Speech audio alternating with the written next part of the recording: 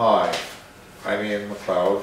I'm here to do some reading at Nikki's request for the museum from the Book of History here and uh, I'm excited to do it because nobody's really ever asked me to read anything before except my kids and a few school teachers over the years. So this is new for me, which is very nice. Um, I first came up to the valley in 1968 and uh, I'd grown up in Victoria. I was fairly young then, uh, 17 actually. Uh, I got off the train and I thought, wow, did they ever put the train station in a bad part of town?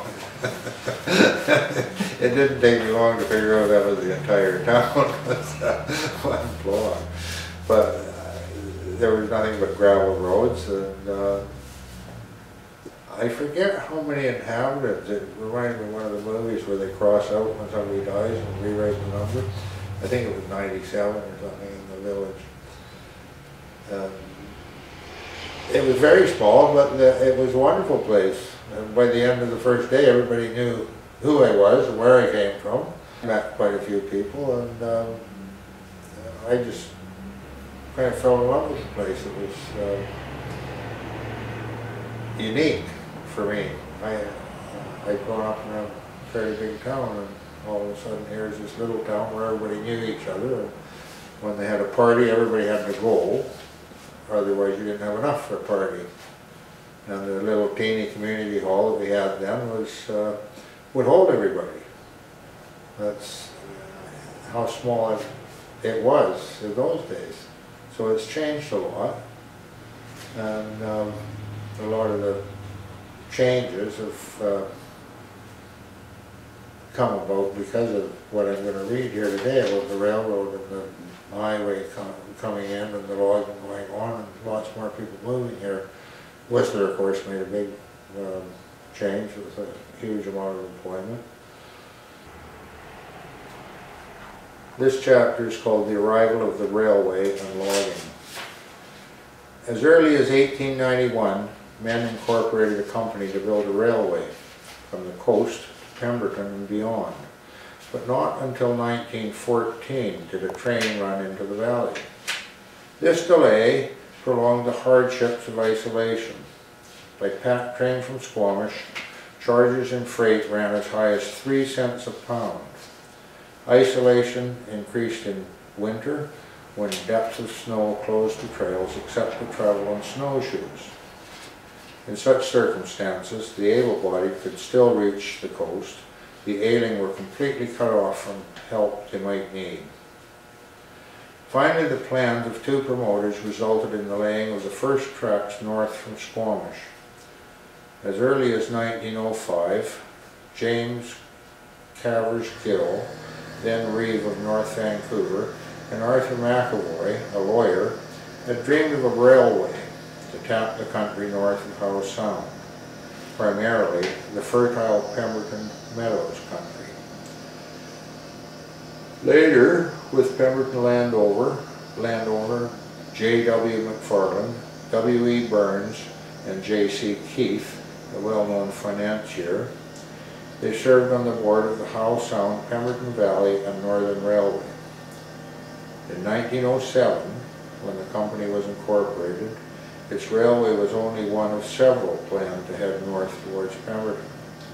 Most promoters envisaged their trains reaching Fort George, or points beyond that settlement.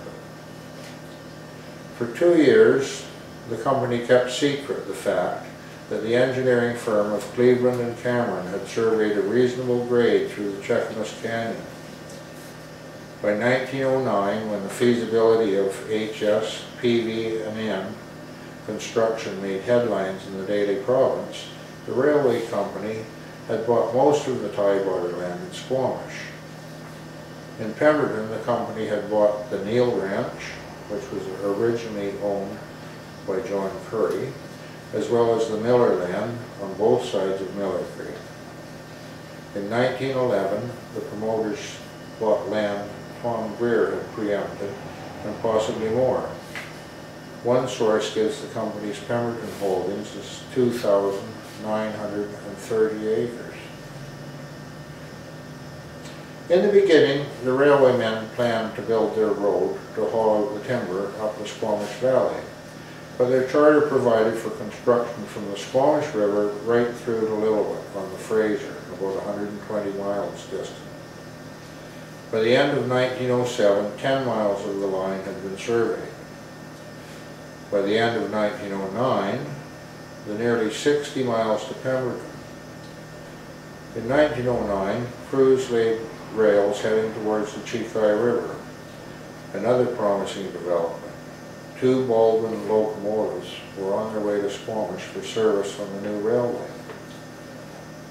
Although initially the few miles of track, including branch lines, served just as a logging road, the directors expected to haul varied freight, timber all along the line, copper gold ores from the Green Lake mines, and fruit, vegetables, and livestock from Lillooet and Pemberton. Meanwhile, the railway company's subsidiary, the Howe Sound and Northern Development Company, managed the land. This company planned two town sites. That in Squamish would be called Newport. The Pemberton town site, Agerton, was part of District Lot 164 and lay close to the Lillooet River, much of it on land Neil had recently farmed, and the site extended to below the one-time Red Bridge area. The company subdivided the remainder of the old farm, 74 lots, each containing from 5 to 10 acres, were offered at prices ranging from 100 to 150 an acre. Similarly, the company divided the former Miller property into farm-sized acreages. Eustace Bubb, an English immigrant, was land agent in Pemberton. The representative for Europe was based in Glasgow.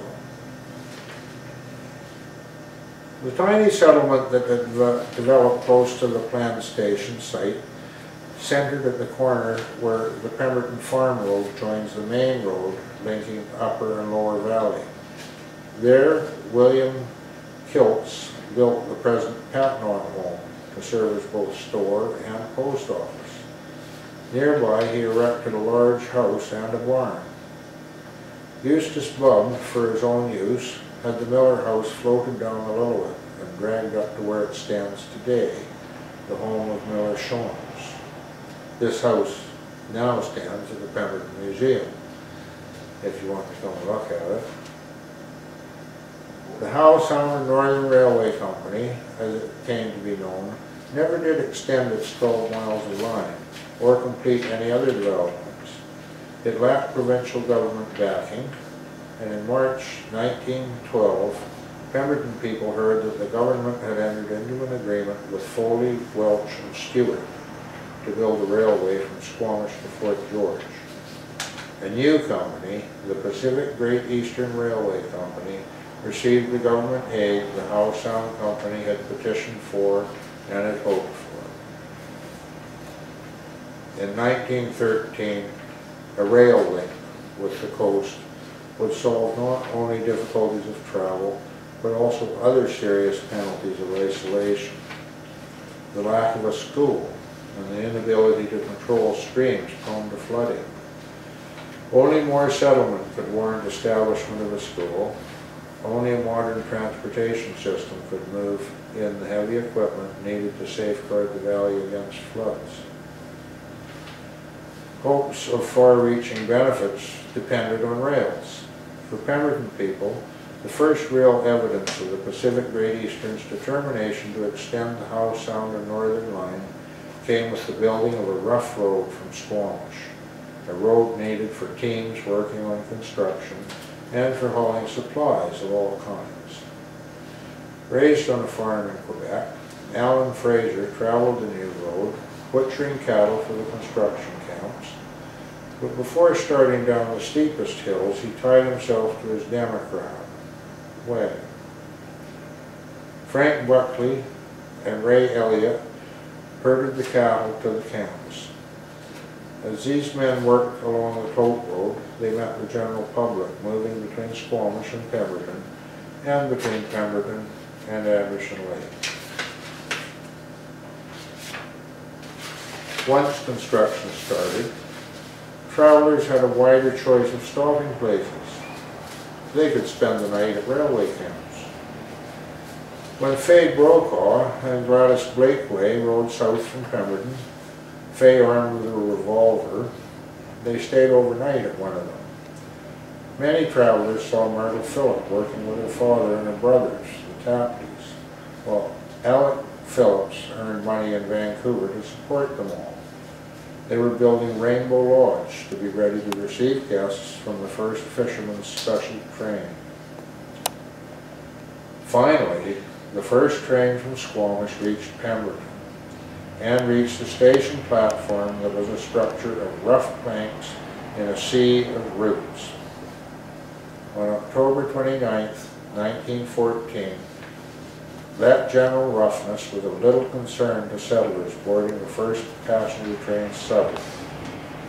For the Joseph Ronayne family, travel had been transformed since the year before, when they had made the rugged trip in by way of Lytton and Lillooet.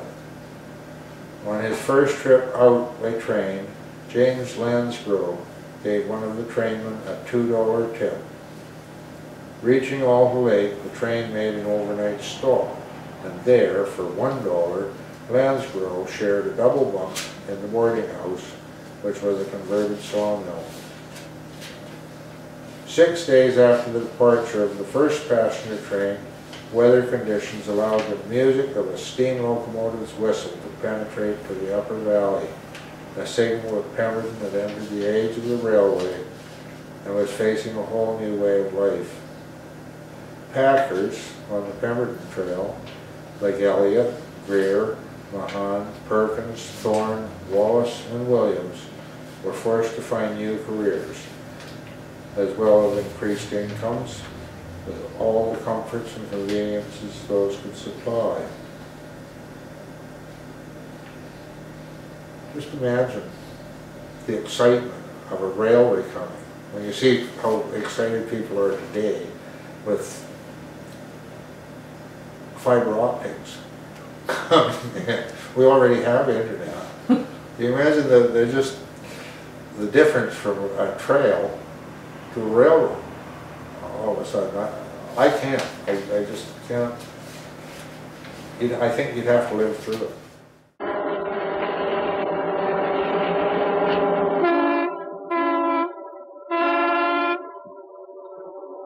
The Pacific Great Eastern Railway. Its whistles and horns have echoed through this valley for 40 years. For a very long time, it was almost a joke. Its service was so bad, and its cars smoky and uncomfortable. The people of Pemberton would have laughed more often if they had not been so dependent on it. For there is no other way in or out of the valley.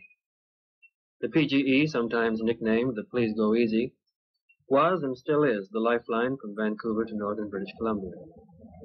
But now, in the last year, the passenger trains have become sleek new cars, and they're even beginning to run on time. Now there's a kind of reluctant pride in the old PGE. Soon they will have two passenger trains a day, one up and one down.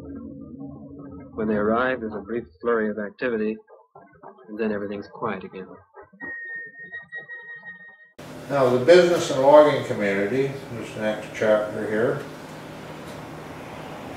Pemberton Village in the 40s was still quite small, with all its businesses on the main street, community hall, Taylor's Garage, Kellifer's store, the hotel, and Prendergast log cabin facing the station agent's house, the section house, as now, at the end of the road, and the opposite end across from the hall. Jack Tellifer's garage, and later Joe and Mary Tellifer's new home, and behind the first very modest Legion building, by the, by the railroad was a small cabin used by the forestry during summer months a couple of old log cabins and bunkhouses where the unmarried members of the section crew lived. The next large business expansion came in the mid-60s when the road became more than a rumor and daring souls were dodging the highway crews to drive in from the city. Well, that's better. At the Pemberton Hotel, new owners Tom and Helen Allen, in partnership with their two sons, Larry and Dale, embarked on an expansion program which transformed the small frame hotel with its very basic services into a modern building with coffee shop, dining room, cabaret, attended to the end of Frontier Street, for the old Prendergast cabin had met its end by fire, and the residence built by former hotel owner Frank Caracello had been moved to a new site in the village. The old Brotherston and McNally garage underwent remodeling and renovations to become Pemberton's first drugstore, opening for business in May 1964 with Bob and Pat Priest moving into the apartment above the store with their four children. Warren Telfer, who had built a new hardware store early in the 60s, expanded his premises in 1964 to include a coin-operated laundromat, four washers, two dryers. The first business of its kind in the community. It proved very popular with both Pemberton and Mount Currie residents, doubling its size in only a few years. The taxi service in Pemberton, started by the Taylor's Pemberton Express, underwent many changes. Earl Rivet and wife Norma ran a taxi service out of Pemberton, and Jerry Belanger operated out of Mount Currie. Bob Matthews consolidated and expanded the service with two cars and radio communications. The bulk of his business being the run between Pemberton and Mount Currie. The unprecedented expansion of Pemberton, both the village and surrounding area during the 50s and 60s, was a result of a number of factors. The opening up of new farmland and improvement of existing farms because of the drainage project. The improved services brought by the BC Electric and the BC Telephone. The completion of the railroad and later the road to Vancouver. And most of all, the start of the logging industry, later took the place of farming as the main income base of the valley. Apart from the Blackwater Timber Mill in Devine, operated by Andy Devine, logging operations in the 40s were restricted to small sawmills, one-horse logging outfits, and pole cutting. George Walker and Bill Spetch went into partnership in a sawmill in 1945 and were typical of the operators of that era. George ran the mill, assisted during the summer months by his brothers and fathers, who later ran the planer. Bill, a great horseman and an expert in training a team, ran the logging end. The trees, mostly fir, were hand-felled with six and a half foot crosscut saws, which required the energy of two husky men. John Punch, the axe expert, hewed out the trails for the teams and sniped the logs, sharpening the ends to a point so that they would travel more easily down the hillside and along the skid road. Skinners like Victor Frank and Seymour Wallace handled the teams expertly. Teams so trained that when they felt the tension on the chain slacken, they would leap to one side as the loosened logs shot down the mountainside and the torn out dogs rattled on the end of the chains. Once on the flat, the logs were too heavy for the teams, unless on a skid road built of small logs lying crossways. Barkers were not so essential then because the bark was cleaner without the embedded stones, typical of bulldoze logs. George Walker purchased his last team of horses as late as 1952 for $500.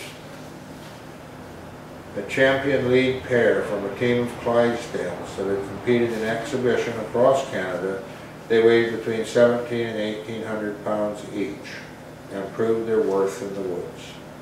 It was possible in the days of horse logging to buy a team, train and use them for a year, then sell them for as much as or more than they had cost. And that, commented one old horse logger, is more than you can do with a skidder. And the woods were quieter then. And though nobody made a fortune, most made a reasonable living. Cedar pole cutting went on side with the fir logging, similar methods being used to haul the poles out of the woods.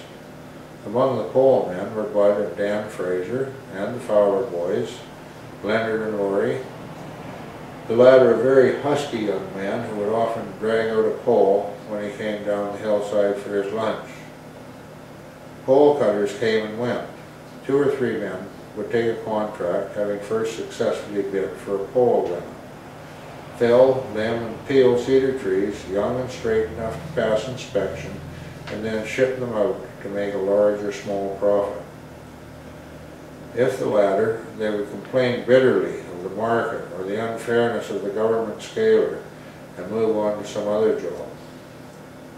Many farmers, like Lukey Van Been, Ron Ronayne, and Ben Kay, were able to supplement their farm income with poles cut on their own land or obtained a short distance away. By 1949, when Bud Fraser, Charlie Wallace, and Vern Lundstrom were pole cutting on the hillsides above Lillooet Lake, the two-man chainsaw was coming into general use. These saws were as long as the old crosscut saws and weighed over hundred pounds. Around the same time, Wally Wagner, Jack Matthews, and Jerry Wolf were logging fir using a spar tree, the lines powered by a donkey motor to bring the logs together in piles on the hillside. An A-frame mounted on a log raft was used to pull the logs into the water, and they were floated to the end of the lake to be shipped by road to the Creekside Railway spur, and thence to Vancouver. The pole cutters on the lake used a similar method. During this same period, a number of small sawmills operated in the upper valley. Hines and Sword were later sold out to Wilf Dyson. Roger Dickey on the Cariboo Road south of the Birkenhead River. Arthur DeVarge in the D'Arcy area. Gunnar Gimps in the Birken District and Miller Creek watershed. Tony McCady near Creekside, and John Ronayne in Pemberton Meadows. By the early 50s, Tony McCady, in partnership with Bill Brotherston and Harvey McNally, was working near Miller Creek. Joe Antonelli near Tisdale, and Ed Morgan in the Birkenhead District near the old fish hatchery. Some worked from their homes, and others operated from small camps set up in the bush. Up the narrow twisting Soo Valley, road travelers today can see the remnants of a small camp. The rusting skeletons of two trucks almost hidden in the underbrush, the cleared space where the sawmill stood, and the old high graying stumps are all that is left to show that men once lived and worked here. Falling trees with crosscut saws, yarding with a donkey engine or spar tree, and trucking their loads to the railroad ten miles away. From the railroad, they would collect their groceries and machine parts and drive back to their only camp. Starting in the late 50s, Danny and Mabel Franks ran a sawmill, two shade mills, and three shingle mills, the last two operations being destroyed by fire in the mid-60s. Financed at different times by Vancouver Warehousing, Tyee Forest Products, and Robson Plywood, Frank's Mill continued off and on into the late 60s. John Koswitz worked as bookkeeper, Ray Sankey in the office, Magnus Erdahl at both construction work and in the mill, and A. Danny looked as a sawyer. The first shingle mill in Pemberton was built by Dick Green in partnership with Harry Weber and Emery Doyson. Emery's sister Terry worked side by side with the men and put in a man's day the mill.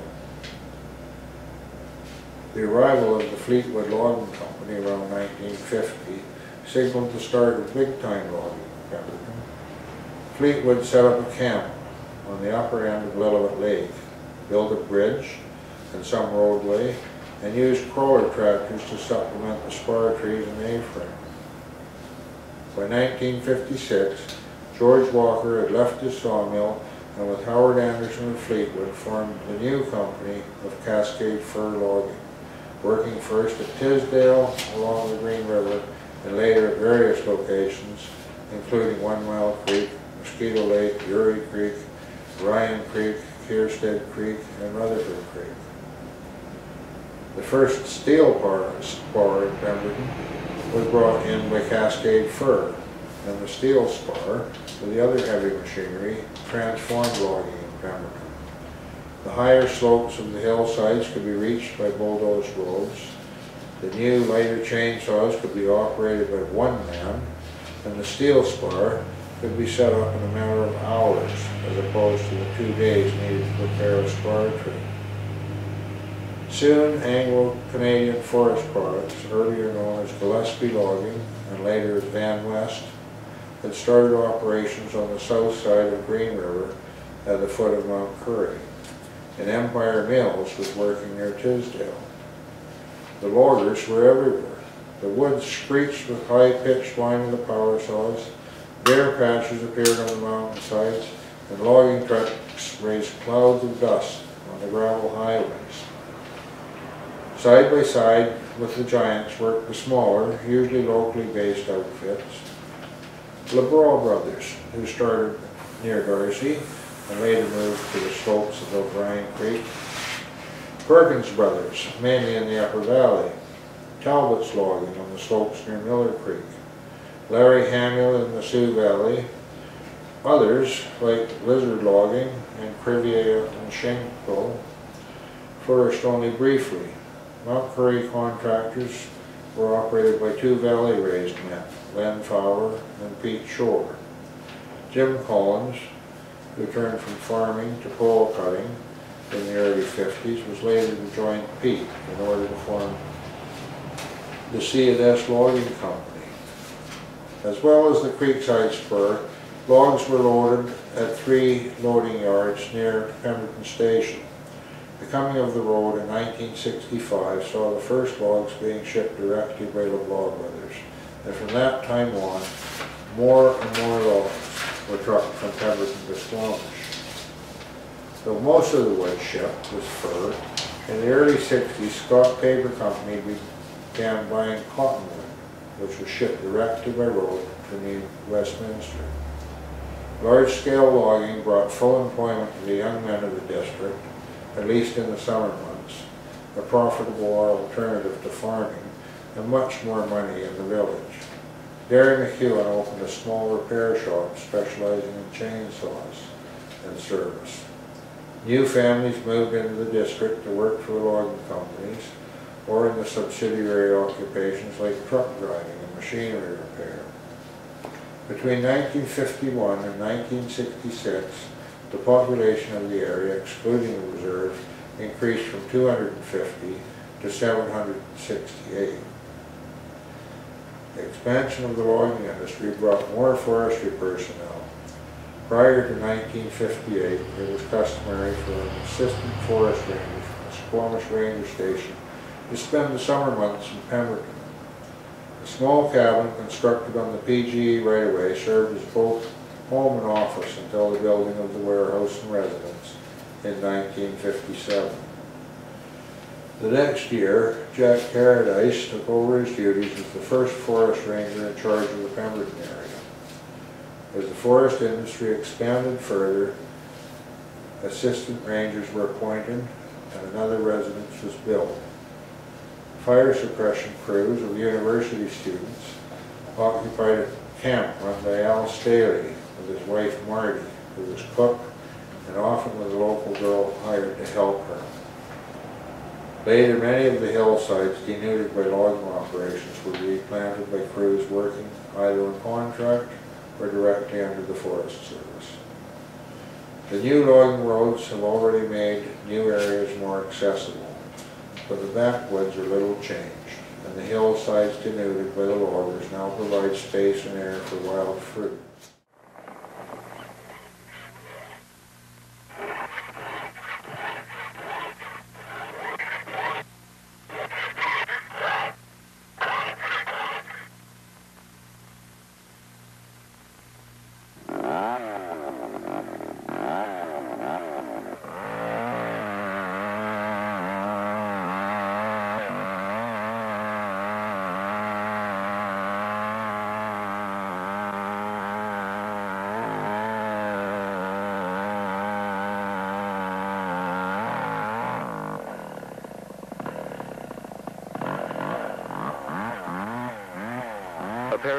On a flimsy springboard as they hacked out and undercut in rhythmic strokes for as long as three days has given way to the chatter of the gasoline chainsaw.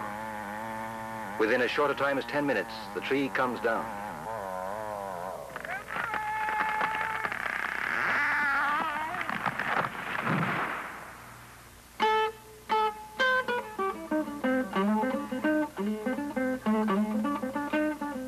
New equipment and new methods of logging have revolutionized the life of the logger, and the tradition of single men and bunkhouses has been replaced by the permanent community.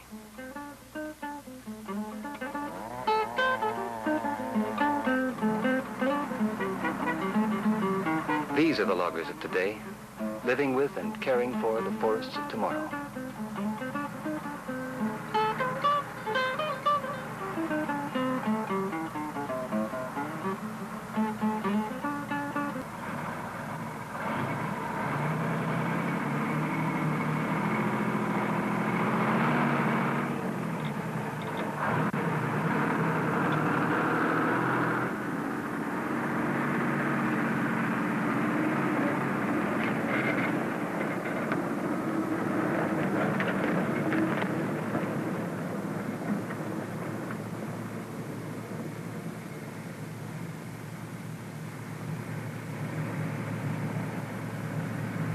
The old-timer would find it hard to believe that some loggers belong to the Board of Trade. There's no similarity between the so-called romantic logger and today's scientific log harvester.